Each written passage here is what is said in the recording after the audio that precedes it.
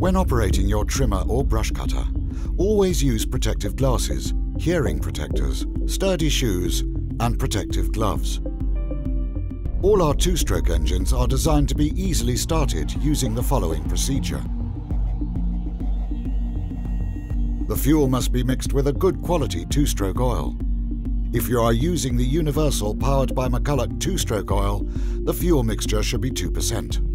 That is 100 millilitres of oil to 5 litres of petrol. If you are using any other two-stroke oil, read the producer's instructions carefully.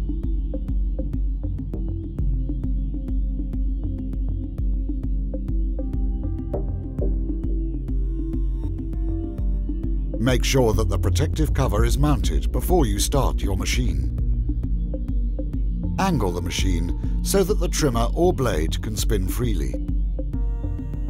Check that the stop button is in the on position. In most products, the stop button automatically relocates to the on position.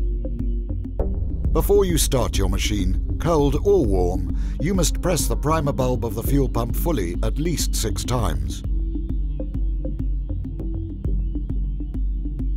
Our products are fitted with three different kinds of chokes. These will now be demonstrated as follows.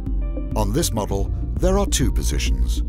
For the start position with a cold engine, you must pull out the choke. Pull the starter rope until the engine fires once or starts running.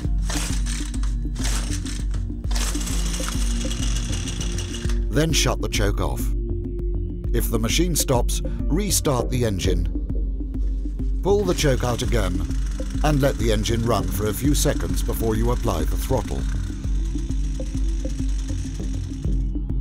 When starting a warm engine, just pull up and then press back the choke. The engine will then be in the start throttle position, which makes it easier to start. Start the engine and let it run for a few seconds. Give a burst of full throttle and the engine will then return to its normal idling speed. This choke has three positions, full choke, half choke and run position. Press the primer rubber bulb for the fuel pump.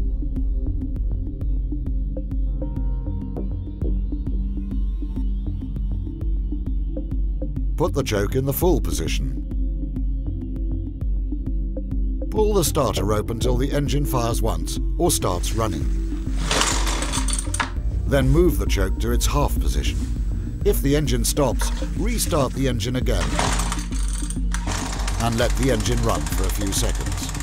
Then reset the choke to its operating run position.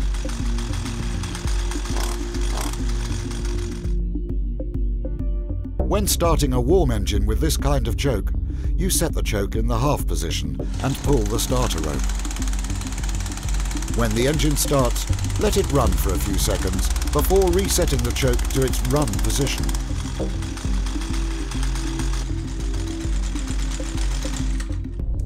This choke has a wheel, which must be turned to the start position. Turn the wheel to the choke position.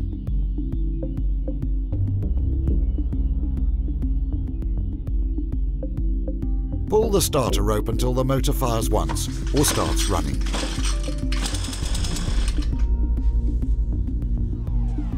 turn the wheel to the run position.